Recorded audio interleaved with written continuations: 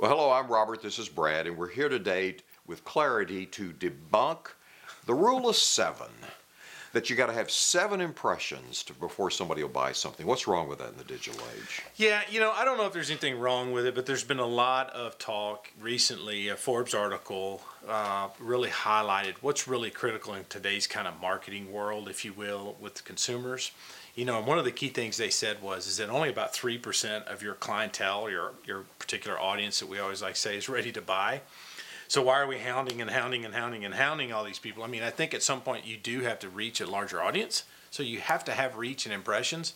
But how much benefit are you actually getting? We always get told ROI, ROI, ROI. So you have to think about that. And one of the things the article highlighted, which is what we've been saying for a while, is with your product or your brand, you have to kind of create a journey through that sales funnel, right? Yes. Old school sales funnel.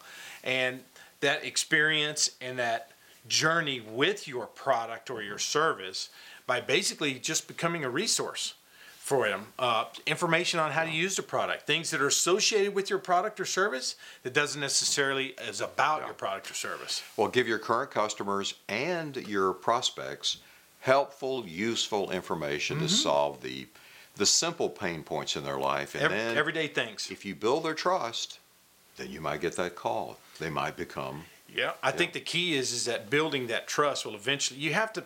The, the bottom line is you have to connect at a different level than just come buy my Yeah. product and we can solve a problem A. Yeah. Right? You have to also be B, C, D, E, and F nowadays because the consumer's educated. you talked about you got to make the connection where Yeah, it's got in the heart. It can't just be in the pocketbook anymore. You can't just sell on features and benefits and say, well, this is a great product and this is a great price. It's got to be, you've got to hit them here.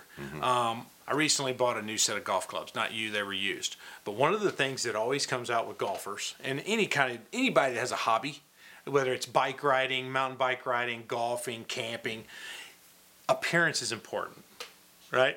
Oh, yeah. You like the look of the club. When you hold the club in your hand, it sits on the ground. It looks good on the ground. It feels good in your hand. You swing it, you hit the ball. Same thing with everything. I sit on a bike. It feels good. It rides good. I go to the next brand. Maybe it doesn't feel the same or whatever.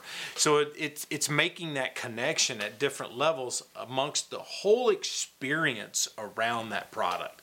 So sure, I may be on a mountain bike that's four thousand dollars but I might have had a better experience from a product standpoint on one that was 800 because it fit better Yeah. and I've liked it more or whatever. I'm still in the same place, right? I'm still in the same environment, I'm still in the same mountain, but because the product made a different connection with me in my heart, if you will, then I bought that product and I had a better experience. So I think you've said the, the most important thing here to close this on, and is that people don't buy features and benefits. That comes into it later. They buy experience. You're buying an experience. So if Yeah. you're if you're not creating experiences in social and your website and information and content, it's always about content, then you're losing audience.